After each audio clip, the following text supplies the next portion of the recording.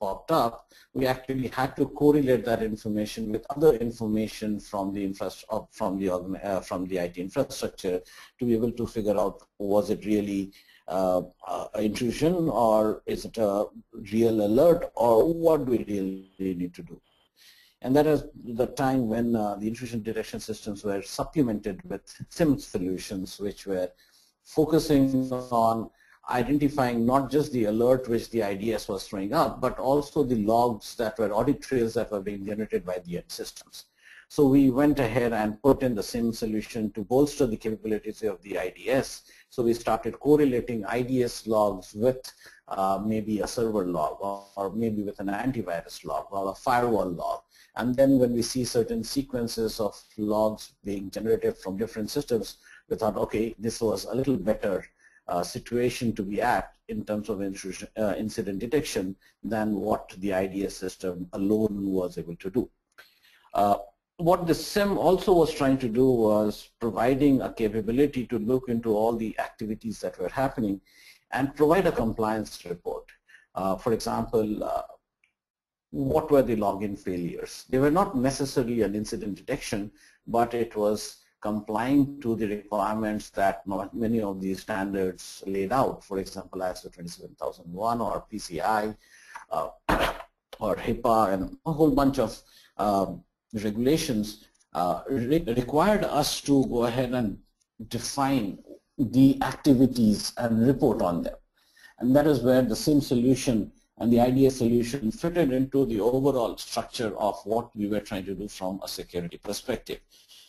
But then uh, the original cause of uh, incident detection was still is still uh, not really getting addressed because the IDS and the SIEM put together still are missing out most of the APTs or most of the custom threats that uh, that are being uh, that that we are getting hit on.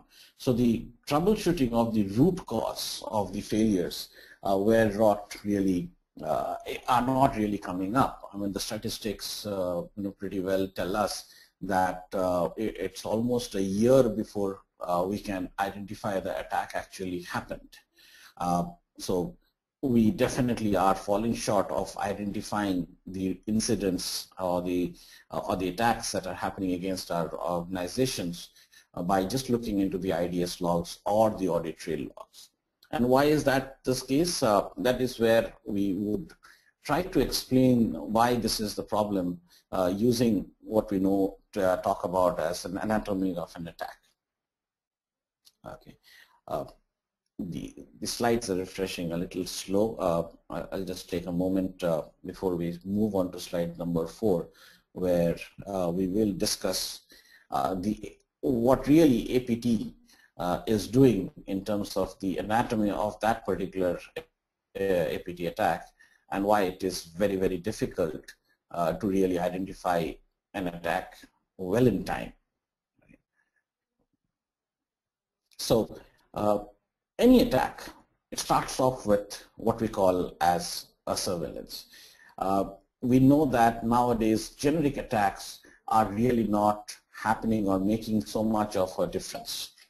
Uh, what is happening is these custom attacks that really start off with surveillance and then they move on to um, analyzing the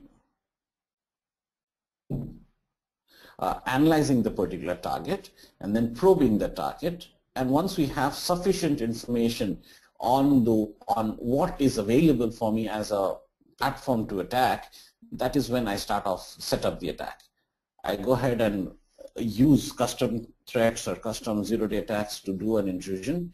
And once I have done, started off the uh, you know attack and I have a successful intrusion, I start covering up my tracks for all the other activities that I have done up till now. And then I keep on identifying those valuables that I want to really steal.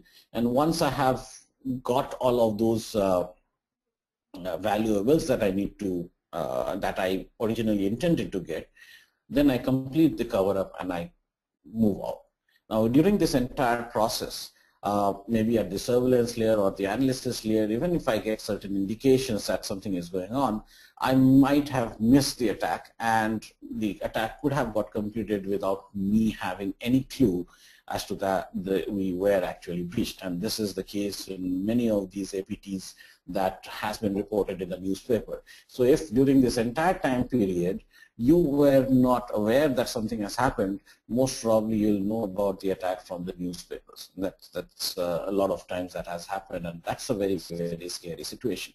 Uh, because the analysis that is happening, the setup that is happening, and the intrusion that is happening is really based upon very custom-built attacks, which our existing setup, which is in terms of the uh, the response setup, really is not in a position to um, monitor. So we do our threat analysis, we do our discovery of what is the risk attack, we do our own uh, intelligence, we do our monitoring, but at some point of time we identify the attack. Once we have identified the attack, we start doing the uh, root cause analysis, we report on that, we try and contain that, uh, contain that particular attack, we try and do damage control, and then uh, at some point of time we are we go out to the external world and say, okay, we have responded to it and we have recovered from it.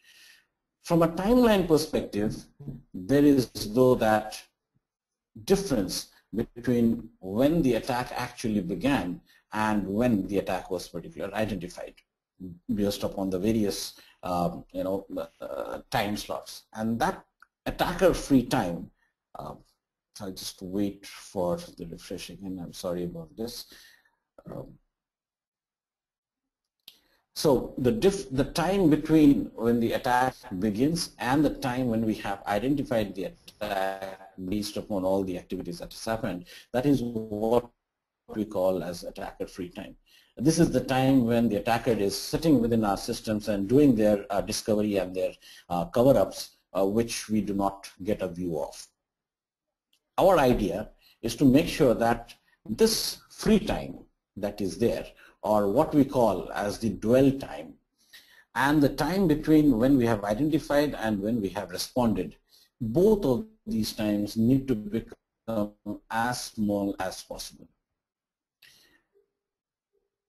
To make sure that the dwell time and the response time is as small as possible, we do need to have a little different approach. The advanced threats are targeted, hence we are not in a position to uh, identify the attack well in time. And because it's a new kind of attack, they are slow and slow. The response time, the attack, uh, the time between the identifying of the attack and the response time, that is also very long because we do not have sufficient information in the audit trails itself uh, because the attack was designed in that manner. It was designed to be stealth and hence we need to have more information around uh, how we can have our response time also reduced as much as possible. And the other one which is uh, an important aspect of an APT is that uh, there is always a human involvement within an APT. Uh, there is social engineering which plays a major role uh, for every uh, every APT that that becomes successful. So to do make sure that we have the human involvement factor uh, factored in uh, and that it is the attacks are low and slow and it's going to happen over a period of time as long as maybe six months uh, and that it is custom built. It is not going to be picked up by my IDS patterns or it's not going to be picked up by my antivirus systems because they are targeted. They are zero day. So keeping in mind that all of these is what makes sure that it is an advanced persistent threat or an, uh, you know, a category of this. We need to have uh, capabilities built in which will have uh, allow us to decrease this dwell time and increase our response time. So what do we need to do? How do we need to evolve our uh, how do we need to evolve our uh, SOC from the present day scenario where it is primarily dependent upon uh, SIEM or primarily dependent upon, dependent upon our IDS setting. Uh, one, the IT environments have really expanded. We we're focusing with our SIEM primarily on the firewall and the switch and the uh, networking equipment. Uh, whereas the information around these attacks really are happening at the application layer. So the and of course there are many more uh, IT um, uh, systems that are playing a role within the infrastructure. So things have become more complex and that is where SIEM is struggling really to have uh, information from all the different sources of information that give me idea of what is going on. Uh, not just the security tools, not just. And the moment the